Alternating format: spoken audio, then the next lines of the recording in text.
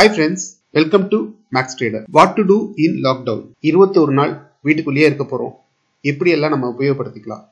எப்படியெல்லாம் நம்மளை டெவலப் பண்ணிக்கலாம்? அப்படிங்கிறத பற்றின ஒரு சின்ன எக்ஸ்பிளனேஷன் தான் மேக்ஸ் ட்ரேடர் நம்மளோட யூடியூப் சேனல் லைக் பண்ணுங்க ஷேர் பண்ணுங்க. லாக்டவுன் வீட்டை விட்டு வெளியில வர முடியாத ஒரு சூழ்நிலையில இருக்கும். இது நிறைய பேருக்கு கஷ்டம்தான் எல்லாருக்குமே கஷ்டம்தான் ஆனா இந்த கஷ்டத்துக்காக நான் இப்படியே சோகமா அப்படியே உட்கார்ந்துருந்தேன்னா என்ன நடக்கும்? இருபத்தொரு நாள் கழிச்சு நான் வெளியில வந்து தான் ஆகணும் வாழ்ந்து தான் ஆகணும். இல்லையா? ஸோ இந்த இருபத்தொரு நாளை நாம எப்படி பயன்படுத்திக்கலாம்?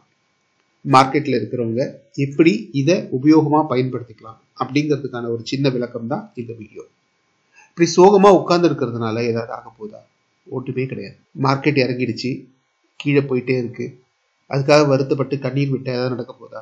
ஒன்றும் கிடையாது. ஸோ முதல்ல நீங்க யாரு மார்க்கெட்ல இன்வெஸ்டாரா ட்ரேடரா என்ன ரோல் ப்ளே பண்றீங்க? இல்ல நான் fifty percent investor fifty percent trader இல்ல நான் ஒன்லி இன்டர்டே ட்ரேடர் இல்ல நான் ஒன்லி இன்வெஸ்டர் ஏதாவது ஒரு முடிவுக்கு வாங்க. இன்வெஸ்டரா இருக்கிறவங்க இப்ப மார்க்கெட் இறங்கி இருக்கு கஷ்டத்துல இருக்காங்க. இன்டர்டே ட்ரேடரா இருக்கவங்க இன்டர்டே மட்டும் தான் பண்ணுவாங்க அப்படிங்கிறவங்களுக்கு ஒரு பிரச்சனையும் கிடையாது. அன்னன்னைக்கு போறோம் அன்னன்னைக்கு சம்பாரிச்சுட்டு வந்துடுறோம். இன்வெஸ்டர் பாதி இன்டர்டே ட்ரேடர் பாதி அப்படிங்கிறவங்களுக்கும் இன்வெஸ்ட்மெண்ட்டை லாஸ் ஆகிருக்கலாம் பட் இன்டர்டேயில் சில நாட்கள் லாஸ் ஆகிருக்கலாம் பட் ப்ராஃபிட் வந்துட்டு இருக்கும். பட் இந்த லாஸுகளையும் இந்த ப்ராஃபிட்களையும் நாம் எப்போ சரிசமன் பண்ண போகிறோம் எப்போ ப்ராஃபிட் அப்படிங்கிறது நமக்கு ஜாஸ்தியாக வர ஆரம்பிக்குது.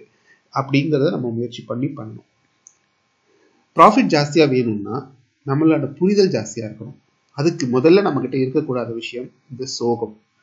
இந்த சேட்னஸ் நம்மளால என்ன பண்ண முடியும்? மார்க்கெட்ல ஜெயிக்க முடியலையே அப்படிங்கிற அந்த சோகம் இருக்கு இல்லையா? அது வேண்டாம். அதை தூக்கி ஓரமா வச்சிருங்க. முதல்ல உங்களை நீங்க நம்புங்க. கண்டிப்பா நம்ம ஜெயிக்க போறோம். மார்க்கெட்ல இல்ல வாழ்க்கையில எங்க போனாலும் முதல்ல நம்ம தோத்துருவோங்கிற பயத்தை தூக்கி ஓரமா வச்சுட்டு எப்படியாவது ஜெயிக்கணும் ஜெயிச்சிருவோம் அப்படிங்கிற நம்பிக்கையோட உள்ள வாங்க. ஜெயிச்சவங்க அத்தனை பேரும் நம்மள மாதிரி சாதாரண மனுஷங்க தானே. நமக்கு இருக்கிற அதே மூளை தானே அவங்களுக்கு இருக்கு. நம்ம கிட்ட இருக்கிற அதே சின்ன சின்ன பணங்கள் தான் அவங்க கிட்டே இருந்திருக்கலாம். இன்னைக்கு அவங்க ஜெயிச்சு பெரிய ஆளாக இருக்கலாம். அப்போ சாதாரண அதே மூளை கொண்ட நம்ம போல இருக்கிற ஒரு மனுஷனால இதே ஷேர் மார்க்கெட்ல ஜெயிக்க முடியுது வாழ்க்கையில ஜெயிக்க முடியுதுன்னா ஏன் நம்மளால முடியாது? நம்ம கிட்ட என்ன இல்லை? அப்போ அவங்ககிட்ட இருக்கிறது நம்ம கிட்ட இல்லாதது என்ன அப்படிங்கறத கண்டுபிடிச்சிட்டா நம்ம ஜெயிச்சிடலாமா? சரி ஜெயிச்சவங்க அத்தனை பேர்கிட்டயும் என்ன இருக்கு அப்படின்னா நம்மளை விட கொஞ்சம் நாலேஜ் ஜாஸ்தியா மார்க்கெட்டை பத்தின புரிதல்கள் ஜாஸ்தியா சரிங்களா? இப்போ ஒருத்தர் ரன்னிங் ரேஸ்ல ஜெயிக்கிறான் அப்படின்னா அதுக்கான பயிற்சி அவன் எடுத்திருப்பா இல்லையா? நம்ம அதெல்லாம் எடுத்திருக்கோமா அப்படின்னா நம்மகிட்ட அதெல்லாம் பயிற்சி எடுத்ததே கிடையாது. டேரக்டா உள்ள வரோம் பணத்தை போடுறோம் ட்ரேட் பண்றோம். முதல்ல மார்க்கெட்னா என்ன அப்படிங்கறத இந்த இருபத்தோரு நாள்ல பயிற்சி எடுத்து புரிஞ்சுக்குவோம். புரியுதுங்களா? ஸோ நம்ம தெரியாமையே இந்த விளையாட்டை விளையாட ஆரம்பிச்சு தெரியாமையே தினம் தினம் வந்து காசை கொடுத்துட்டு இருக்கோம். அதை விட்டுட்டு முதல்ல நம்ம ஜெயிப்போங்கிற நம்பிக்கையை ஏற்படுத்திக்குவோம் அப்புறம் அந்த ஜெயிக்கிறதுக்கான வழிமுறைகளை தேர்ந்தெடுத்து பின்பற்றுவோம். இதுதான் நம்ம சொல்ல வர விஷயம். ஜெயிக்கிறது அப்படிங்கிறது எல்லாருக்கும் பொதுவான ஒரு விஷயம் தானே தவிர இவங்களுக்கு மட்டும்தான் அது சொந்தம். நம்ம தோக்கிறது தான் பிறந்திருக்கோம் அப்படிங்கிற எண்ணத்தை முதல்ல எடுத்து போடுங்க. நம்மளாலையும் ஜெயிக்க முடியுங்கிறத நம்புங்க.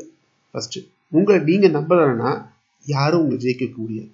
First you believe yourselves first try to understand what is what then you try சரிங்களா என்எஸ்சி இந்தியா வெப்சைட்குள்ள போயிட்டீங்கன்னா நிறைய விஷயங்கள் இருக்கு.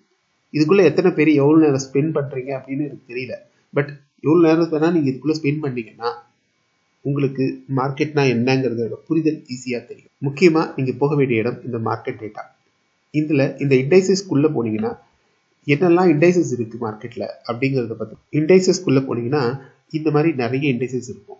அதுல நிஃப்டி ஃபிஃப்டி மட்டும் தான் நம்ம எல்லாருக்குமே தெரிஞ்சிருக்கோம். ஒரு ஒரு இண்டைசஸ்க்கும் தனித்தனியா செக்டோரல் இண்டைசஸ் இருக்கு. நிஃப்டி பேங்க்னா பேங்க்ஸை பற்றின ஒரு இண்டைசஸ் அந்த மாதிரி நிறைய விஷயங்கள் இதுக்குள்ளே இருக்கு. இப்போ இந்த நிஃப்டி ஃபிஃப்டி கம்பெனிஸ் என்ன இருக்கு அப்படிங்கறத நீங்க பாத்துக்கிட்டீங்க அப்படின்னா இந்த கம்பெனிஸை பத்தின டேட்டா முதல்ல நீங்க தெரிஞ்சுக்கிறதுக்கு முயற்சி பண்ணுங்க. இதுக்குள்ள இருக்கிற கம்பெனிஸ் எப்படி இருக்கு? ஏன் இந்த நிஃப்டி ஃபிஃப்டிக்குள்ள இந்த கம்பெனி இருக்கு? என்ன செக்டார்ல இருக்கு? அந்த செக்டார் எப்படி ஒர்க் பண்ணுது? அந்த செக்டாரோட பெர்ஃபார்மன்ஸ் எப்படி இருக்கு? அதனோட பெர்ஃபார்மன்ஸ்க்கு இந்த ஸ்டாக் இந்த பர்டிகுலர் கம்பெனி எப்படி உதவுது? இது எல்லாத்தையும் நம்ம இந்த இருபத்தோரு நாளில் படிக்கலாம். படிக்கிறதுக்கு டைம் நிறைய இருக்கு இப்போ. ஸோ இந்த டைம்ல அந்த கம்பெனிகளை பற்றியும் நிஃப்டி ஃபிஃப்டிக்குள்ளே இருக்கிற இந்த கம்பெனிஸை பற்றியும் புரிஞ்சுக்கிறதுக்கு முயற்சி பண்ணுங்க. Not only Nifty fifty Nifty fifty மட்டுமே கிடையாது. நிஃப்டியில் நிறைய செக்டார்ஸ் இருக்குது ஒன்று ஒன்றா போய் ஓப்பன் பண்ணி அதுக்குள்ளே என்னெல்லாம் இருக்குது அதுக்குள்ளே இருக்கிற கம்பெனிஸ் என்ன அப்படிங்கிறத முயற்சி பண்ணி படிக்கலாம். ஒரு நாளைக்கு ஒரு செக்டார் எடுத்துக்கோங்க. ஒரு இண்டெக்ஸ் எடுத்துக்கோங்க. அந்த இண்டெக்ஸ் உள்ள இருக்கிற ஸ்டாக்ஸ் என்ன? அந்த ஸ்டாக்ஸோட பெர்ஃபார்மன்ஸ் எப்படி இருக்கு? போன வருஷத்துக்கும் இந்த வருஷத்துக்கும் எப்படி நடந்திருக்கு? அதனோட இம்பாக்ட் வந்து நிஃப்டியில் எப்படி இருக்கு? இது எல்லாத்தையும் படிச்சு தெரிஞ்சுப்பா. படிச்சு தெரிஞ்சுக்கிறதுக்கு நம்ம மார்க்கெட்ல இன்வெஸ்ட் பண்ணணுங்கிற அவசியம் கிடையாது. ஸோ நாலேஜ் எடுத்துக்கோங்க. அந்த கம்பெனிஸை பற்றின ஒரு புரிதலை ஏற்படுத்தி. சரி. உங்களுக்கு இப்போ அந்த கம்பெனியை பற்றி ஒன்றுமே தெரியல. என்ன பண்ணுறாங்கன்னு கூட தெரியல அப்படின்னா இந்த மார்க்கெட்ஸ் மாஜோ அப்படிங்கிற இந்த வெப்சைட்குள்ளே போங்க. உங்களுக்கு என்ன ஸ்டாக் வேணுமோ அந்த ஸ்டாக்கோட நேம் இங்கே அடிச்சிங்க அப்படின்னா உங்களுக்கு என்ன ஸ்டாக் வேணுமோ அந்த ஸ்டாக்கோட நேம் இங்கே அடிச்சிங்கன்னா அவங்க என்ன பண்ணுறாங்க அவங்க எப்படி இருக்காங்க? அந்த ஒரு கம்பெனி எப்படி இருக்குது அவங்களோட பெர்ஃபார்மன்ஸ் எப்படி இருக்குது டெக்னிக்கலாக ஃபண்டமெண்டலாக அந்த கம்பெனி எப்படி இருக்குது அப்படிங்கிறத பற்றின சின்ன எக்ஸ்ப்ளனேஷன் இங்கே நல்லாவே கொடுத்துருக்காங்க. ஸோ இதை நீங்கள் பார்த்து ஒரு ஒரு கம்பெனியை பற்றின டீட்டெயில்ஸையும் நீங்கள் கலெக்ட் பண்ணி எடுத்து எழுதி வச்சுக்கலாம். எழுதுறது அப்படிங்கிறது ரொம்ப முக்கியம். ஒரு ஸ்டாக் எப்படி இருக்குது அந்த கம்பெனி நல்ல கம்பெனியா அப்படிங்கிறத பற்றின ஒரு புரிதலை நீங்கள் நோட் புக்கில் எழுதினா மட்டும்தான் உங்களுக்கு தெரியும். அந்த கம்பெனியோட ஹை லோ ஒரு வருஷத்தில் எவ்வளோ ஹை போயிருக்கு எவ்வளோ லோ போயிருக்கு இப்போ எங்கே இருக்குது என்ன பண்ண போகுது அப்படிங்கிறத புரிஞ்சுக்கிறதுக்கு முயற்சி பண்ணுங்க. அதுக்கு இந்த வெப்சைட் உங்களுக்கு துணை புரியும். அடுத்து நீங்கள் போக வேண்டிய இடம் இன்வெஸ்டிங் டாட் காம் இந்தியா. இந்தியாக்குள்ளே இந்த இன்வெஸ்டிங் டாட் காம் இந்தியாக்குள்ளே போனீங்கன்னா இதுவும் ஒரு ஹெல்பிங் வெப்சைட் தான். இங்கே நிறைய நியூஸஸ் உங்களுக்கு கிடைக்கும். இந்த நியூஸ் எல்லாத்தையும் கேதர் பண்ணுங்க. உங்களுக்கு புரிகிற மாதிரி அங்கே கொடுத்துருப்பாங்க. அதை படித்து புரிஞ்சுக்கிறதுக்கு முயற்சி பண்ணுங்க. முதல்ல நம்ம செய்ய வேண்டிய வேலை என்னெல்லாம் கம்பெனிஸ் இருக்கு அது என்னெல்லாம் வேலை செய்யுது அது எப்படி வந்து நாட்டோட பொருளாதாரத்துக்கும் மக்களோட முன்னேற்றத்துக்கும் உதவுது அதில் நம்ம இன்வெஸ்ட் பண்ணால் நமக்கு எப்படி ரிட்டர்ன்ஸ் கிடைக்கும் இப்போ எங்கே இருக்குது இப்போ பண்ணலாமா வேண்டாமா அப்படிங்கிற விஷயத்த தெரிஞ்சுக்கிறது.